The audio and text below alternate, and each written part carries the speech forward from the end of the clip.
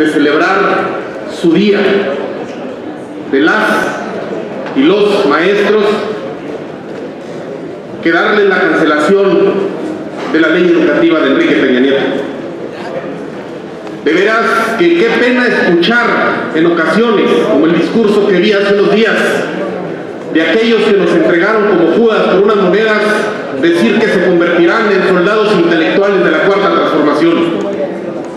No tener vergüenza, pero el magisterio sí tiene memoria. El magisterio de Chihuahua agradece a las diferentes fuerzas políticas el apoyo que le brindan y la confianza que le dan este día que le regresan su dignidad y le brindan la confianza para hacer de Chihuahua un mejor Chihuahua.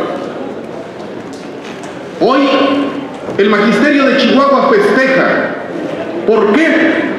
Bueno, porque en la reforma de Enrique Peña Nieto no se realizó un diagnóstico profundo del sistema educativo nacional, lo cual era básico para poder concluir en una adecuada reforma educativa. No puede haber texto sin contexto. El magisterio de Chihuahua hoy festeja porque en la reforma de Peña Nieto no se hizo un estudio previo del alcance de las reformas precedentes que permitan retomar lo bueno y hacer a un lado las prácticas de vicio. El magisterio de Chihuahua hoy festeja porque la reforma de Peña Nieto se empezó haciendo una reforma laboral y administrativa en vez de basarse en los modelos educativos utilizándose como una práctica de intimidación sobre la permanencia en el servicio profesional del magisterio. Magisterio que ellos mismos entregaron, por cierto. El magisterio de Chihuahua hoy festeja porque la contradicción está ahí. Primero una reforma constitucional que toca lo administrativo y laboral y luego una consulta para reformar un modelo educativo. Sí, el magisterio de Chihuahua también hoy festeja porque hubo ausencia de una perspectiva pedagógica en la redacción del tercero constitucional, la cual fue suplida por la concentración de los ámbitos laboral y profesional de los maestros, situación totalmente errónea y fascista.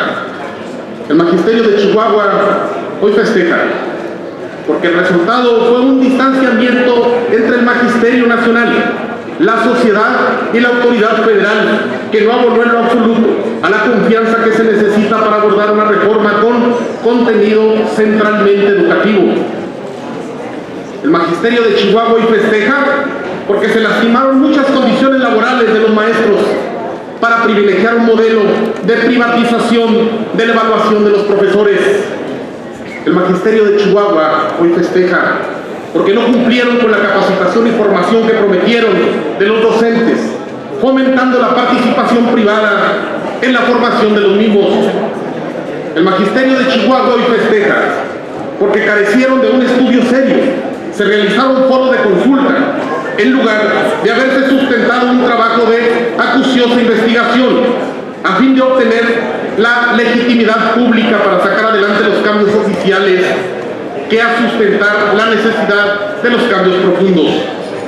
El magisterio de Chihuahua hoy festeja porque damos fin a un afán nada sistemático de reformar las reformas que no contribuyen a generar más calidad educativa y su única virtud es que pretendieron dar lustre a un sexenio caduco.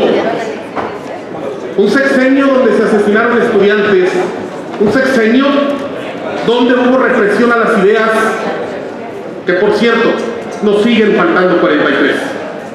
El magisterio de Chihuahua hoy festeja, porque el error más grande que cometió fue no apoyarse en los maestros. Cualquiera que conozca básicamente la historia de las reformas educativas en el mundo y en México sabe perfectamente que cualquier reforma que no se apoye en los maestros está condenada al fracaso. Y aquí la historia.